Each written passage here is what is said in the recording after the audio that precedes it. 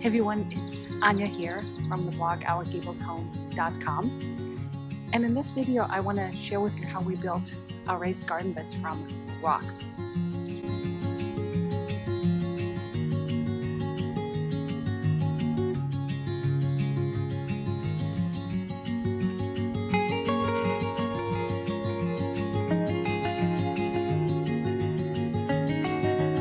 Um, the first consideration was that, I mean, everybody loves raised garden beds and often they're made from wood or metal. And we thought that that wouldn't work so well with the existing hardscape in our garden of our 1910 home. And we have a lot of low rock walls. And we thought that building something with the kind of native bluestone in our area would actually look much better than wood or metal. Obviously, the reasons to build raised garden beds are really easy. They are a little bit easier to reach either kneeling or bending over because they're higher off the ground. It's easier to add soil to them or amend the soil later, and it's easier to keep weeds out. Now, there are some drawbacks. Um, they tend to dry out a little bit faster, so you may have to water them a little bit more in the summer.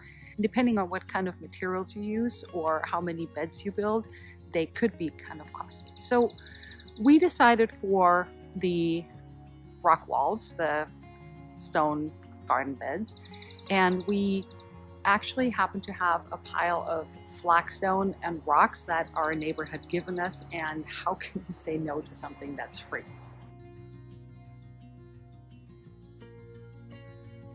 So the first thing I did was I located the spot where I wanted to build the beds. Um, as you can see, this is the most sunny spot in our urban homestead garden.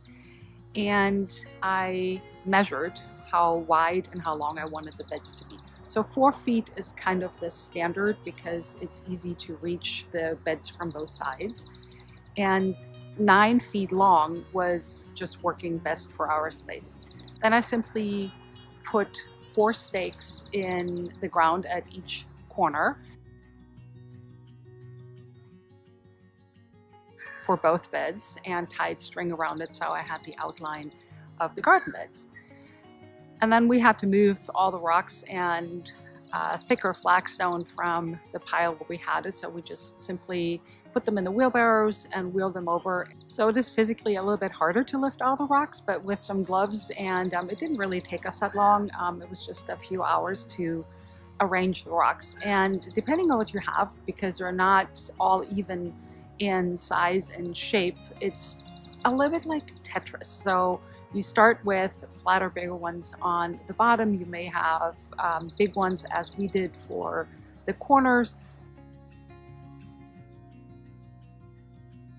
and then you just build up from there. And basically what we did was we built, and if it didn't work, if they toppled over, we rebuilt the section and we moved them around. It's actually quite fun. I really enjoyed the process.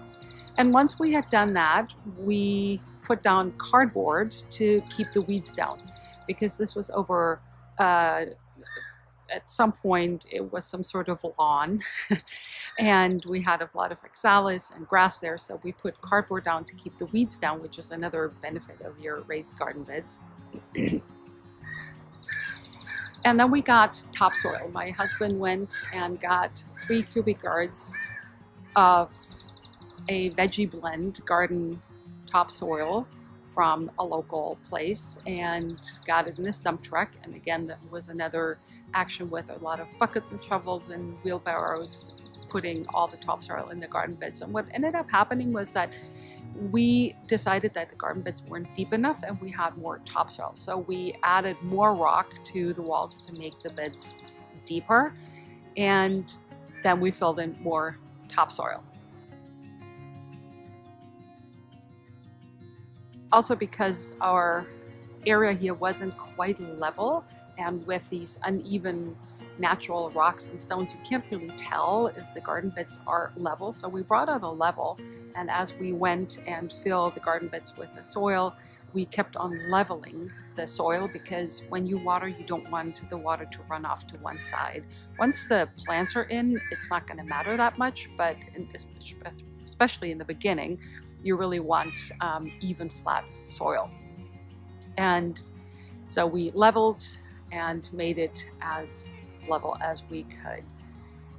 And I'm super excited because I already have a bunch of seeds starting indoors, but there are some seeds that do well with direct sowing and I have already put them in the ground such as carrots and radishes and strawberries and what else do I have? I have some rhubarb and I have some sorrel and I have some New Zealand spinach.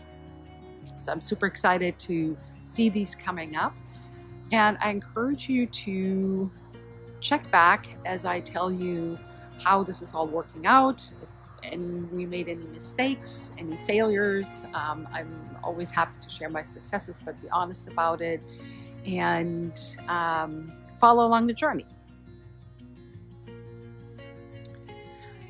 I hope you enjoyed this little video. If you did, please give me a thumbs up. If you're new here on my channel, please hit the subscribe button. I upload new content every week. Thank you so much for watching and see you here next time.